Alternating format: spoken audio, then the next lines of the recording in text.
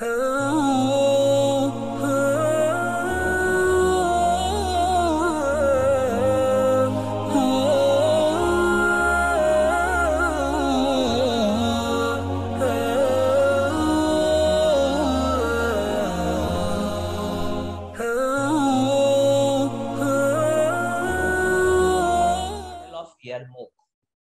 Battle of Yarmouk Persians के खिलाफ नहीं हुआ था बैटल ऑफ़ यरमुक हुआ था रोमन्स के खिलाफ। किसके खिलाफ हुआ था बेटा? रोमन्स के खिलाफ।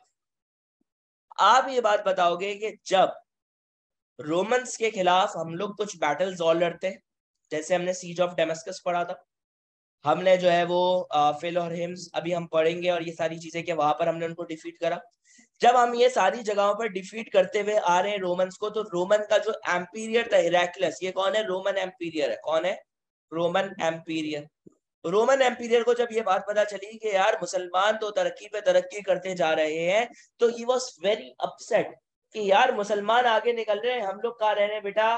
पीछे रह रहे तो जब उसको ये बात पता चली तो आप ये बताओगे कि he was determined to recover Palestine जो एरियाज़ उसने क्या कर लिए थे लूज कर दिए थे, उसको वापसी वो एरिया चाहिए था और खास तौर पे उसको पैलेस्टाइन क्या चाहिए था, वापसी चाहिए था जाके वहाँ पर वो अपनी मर्ज़ी चला सके। तो रोमन्स ने अपनी आर्मी कितनी जमा करी? दो लाख साठ हज़ार और बहुत सारी रिवायतों में आता है कि दो लाख चालीस हज़ार। तो दो लाख साठ हज़ार, दो लाख चालीस हज़ार, आप जो भी लिख दो एग्जामिनर आपका क्या कर देगा? सही कर देगा। रोमन्स ने अपनी आर्मी जब बोलो बहुत ज़्यादा, आप क्या बताओगे? रोमन्स बहुत ज़्यादा डिफीट में थे बैटल ऑफ़ फ़िल्म से पहले डेमस्कस के अंदर फ़ील्ड के अंदर हिम्स के अंदर। रेकलेस को जब ये बात पता चली was very upset he was determined to recover Palestine and he to defeat Muslims ताकि क्या हो क्रिश्चियंस का रुतबा बढ़ता रहे। आप ये बताओगे रोमन्स कितने हो गए? दो लाख साठ हज़ार, दो लाख चालीस हज़ार जमा हो गए अगेंस्ट मुसलमान। किसके अगेंस्ट जमा हो गए? मुसलमानों के अगेंस्ट जमा हो गए। और आप ये बताओगे कि फिर जैसे ये बात हज़रत उमर तक पहुँची कि हम क्या करें? तो हज़रत उमर ने इजमा करा। हज़रत उमर ने इजमा करा और सबसे पूछा कि हम क्या करें कि वो तो भाई दो लाख साठ हज़ार की फोर्सेस आ रही हैं, दो लाख चालीस हज़ार, दो लाख साठ हज़ार की फोर्सेस है। मजलिस शूरा के अंदर मशवरा मांगा। मजलिस शूरा के अंदर मशवरा मांगा तो सब खामोश हो गए, क्योंकि सब डर रहे थे अंदर से क्या क्या होगा? कैसे हम उनको डिफीट करेंगे?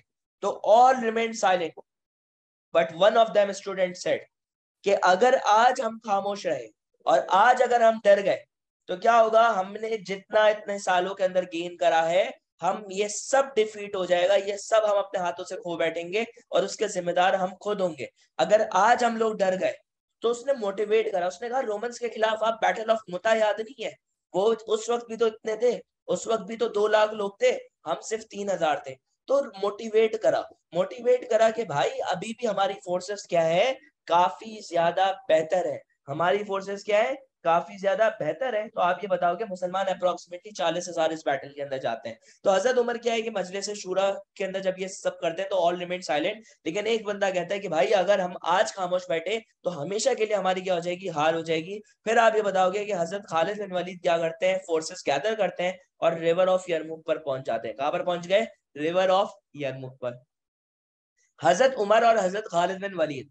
हज़रत उमर और हज़रत खालिद बिन वलीद क्या होते हैं? हर वक्त इन कांटेक्ट रहते हैं। और हज़रत उमर और हज़रत खालिद बिन वलीद, आप ये बताओगे कि उन्होंने क्या कांटेक्ट में रहते थे कि भाई हज़रत उमर कैलिफ थे? तो वो उनको मैसेज भेजते रहते थे कि होपफुली आप लोग अच्छा कर रहे होगे। आर्मी को मोटिवेट करते थे कि कैलिफ का साथ तुम लोगों के साथ है, कैलिफ की दुआएँ तुम लोगों के साथ है तो उससे मोटिवेशन आती थी आर्मी के अंदर। फिर आप ये बताओगे कि क्या होता है कि बैटल से पहले बैटल से पहले आप ये बताओगे कि हज़रत खालिद बिन वलीद के पास, हज़रत खालिद बिन वलीद के पास रोमन्स आते हैं और रोमन्स इनको क्या करने की कोशिश करते हैं? कोशिश करते हैं कि इनको किसी तरीके से बहका दें और इनको ब्राइब कर लें, इनको खरीद लें। तो हज़रत खालिद बिन वलीद क्या करते हैं? हज़रत खालिद बिन वलीद ऑफ़र को रिजेक्ट कर देते हैं और कहते हैं कि मैं बिकने वालों में से नहीं हूँ। तुम लोग जो इस इस्लाम को खरीदने आए हो ना, वो बिकता नहीं है। और उल्टा उनको इनवाइट करते हैं टूवर्ड्स इस्लाम, क्या करते हैं? इनवाइट करते हैं टूवर्ड्स इस्लाम और इस्लाम की प्रमोशन करते हैं कि इस्लाम अच्छा रिलीजन है। तो हम लोग ये गलतियाँ कर रहे हैं, उनको समझाते हैं। वो क्या करने आया था? हमें ब्राइब करने था। लेकिन हज़रत खालिद बिन वलीद उनको क्या करते हैं? समझाते हैं। लेकिन क्या हुआ कि ब्राइब वाली जो उनकी जो चीज़ थी, वो क्या हो गई? फेल हो गई। मतलब हज़रत खालिद बिन ने कहा वॉर अब तो होगी। अब जब वॉर से पहले हमारा एक रूल होता था कि हम तीन ऑप्शन दे देते हज़रत खालिद बिन वलीद ने तीन ऑप्शन दिए। तीन ऑप्शन दिए, या तो तुम इस्लाम कबूल कर लो, या जिजिया टैक्स के लिए, या फिर be ready for war Romans ने कहा, भाई, हम वॉर करके ट्राई करेंगे, क्योंकि अगर हमने वॉर नहीं करी तो ये लोग तो बर ही रहे तो हमें एक दफ़ा इनको खत्म करना है. अब आप ये बताओगे कि न्यू कमांडर इन चीफ आ जाते हैं, अबू उबैदा बिन जर्रा हज़रत खालिद बिन वलीद को वो रिप्लेस कर लेते हैं। क्या कर देते हैं? हज़रत खालिद बिन वलीद को वो क्या कर देंगे? रिप्लेस कर देंगे। क्यों? क्योंकि हज़रत खालिद वलीद अभी बहुत सारी कॉम्बैट्स लड़ते हुए आ रहे हैं, जिसकी वजह से उनको क्या कर दिया था? रिप्लेस कर दिया था और अबू उबैदा बिन जर्रा को उनकी जगह पर ले आया गया। मुसलमान जो थे वो कितने लोग हैं? चालीस हज़ार।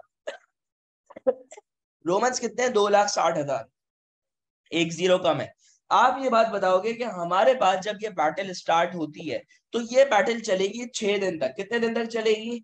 छह दिन तक चलेगी, शुरू के अंदर स्लो स्लो से स्लो स्लो पाँच दिन तक, शुरू से स्लो स्लो बैटल चल रही है।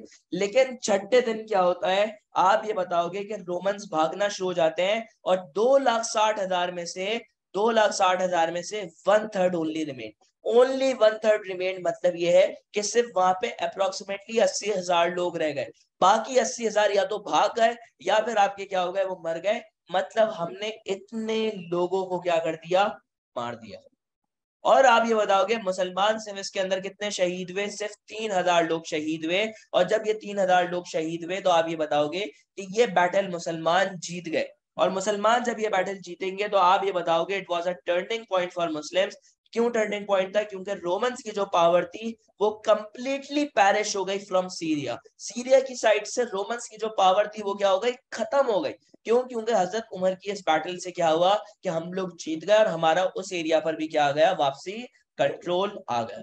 तो आप ये बताओगे कि हज़रत उमर को जब ये न्यूज़ मिली कि हम लोग ये बैटल जीत गए बैटल ऑफ़ यरमुक तो उन्होंने थैंक्स गिविंग प्रेयर क्या करी थी बेटा? परफॉर्म करी थी। उन्होंने शुक्राने के नफिल पढ़े कि अल्लाह आपका शुक्र अदा करता हूँ कि आपने हमें ये बैटल जितवा दिया